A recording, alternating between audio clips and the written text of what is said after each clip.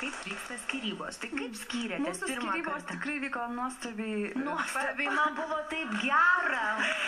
Žinokit, nu, žinokit, tikrai, aš, na, gal sakykime, tai vyro, na, gera širdis ir, ir tiesiog jis palikom, mes aišku, neužsigyvenom turto, mes dar jauni buvom, tais laikais dar, na, netiek buvo galimybių pasistatyti namus, mes per greitai išsiskyrėm. Bet e, kažkokį turtelį nedidelį užgyvenom ir tiesiog vyras sakė, ką tau reikia, tu pasilik ir, ir kaž, kažkaip O tai ką pasilikai? smulkmenas, žinokit, nelendam smulkmenas, kurios yra nei nekilnojamas, ten nei kilnojamas turtas.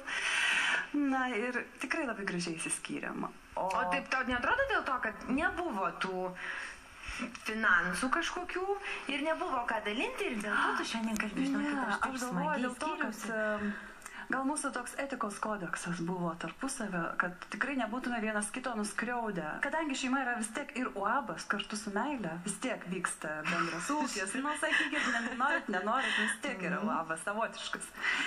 A, tai gal reikėtų daryti vedybinę sutartį ir tai tikrai tada nebus problemų skiri, skirybų metu. Problemų. Na, aš kartu sakau, kad bus. todėl kad vis dėlto dauguma šiai dienai suvokia, kad būtent ta sutartėlė iki vedybinė ar po vedybinė neišspręs visas problemas.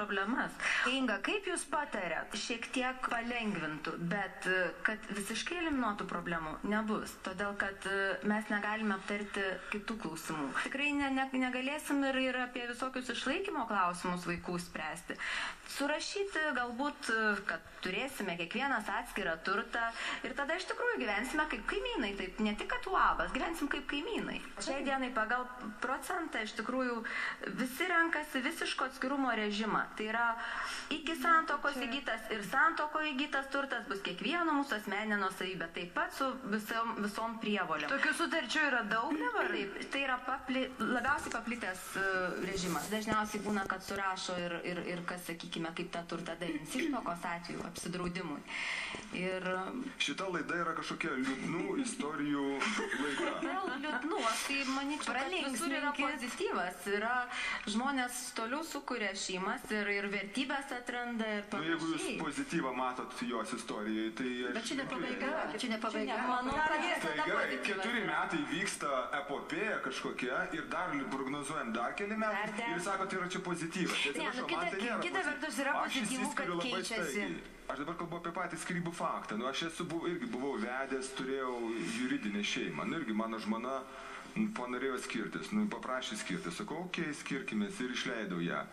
Susirinko, ką norėjo, ten ir išsiskyrė. O mano vyras man padavė skirybas, visą turtą atėmė, paprašė iš manęs dar kompensacijos, kad aš jam Aš sumokėčiau. tą ir norėjau Ir pasakyti, dar čia yra paliko liūdnų istorijų kreditų skolas man sumokėti. O aš esu išsisk- išskirtinumas šitoj laidoj, kad mano visas, mano gyvenimas, jūsų jų gal tik vienintelė skirybos gyvenime. Aš turėjau skirybų daug gyvenime. Ir mano Tai jūs visas- esate turbūt labai lengva. Na, na, tai kokios tos skirybos laimai buvo? Pasakyk, kokios tai jos man buvo. epitetą tokį norit prikabinti. Ne tiesiog, jeigu sakot, aš turėjau daug skirybų gyvenime, ką jūs turit galvoje? Tai kai yra ne vieneris, jinai, pavyzdžiui, kiek turi jų vieneris. buvo? Aš Tai turiu, kiek? aš neregistravau visų skirybų, bet maždaug. nu buvo, Va dabar šiek tiek sužinosit. Pamačiau, Eglė, Nes klausykitės vienos dabar. skirybos su, su žmona, o paskui būdavo skirybos su draugėmis. Ir tiesiog, nu, ateidavo toks laikas, kai reikia skirtis ir viskas, nu, Bet ką. su tom draugėmis jūs turėjote bendrų vaikų. Ne, bendrų vaikų Tai neturėjau, aš tai turėjau tik du vaikus. O su žmona labai. turi du vaikus. du vaikus turėjau. Nu gerai, aš taip tokį tiesiai tau už klausimą, o elementus mokė. Toliau laidoje. Jeigu jis sakytų, man, žinai, padariau klaidą, mane tas antras vyras prametė. Nu gerai, tai aš tau padėsiu, bet tai O kad tu jos ją myli?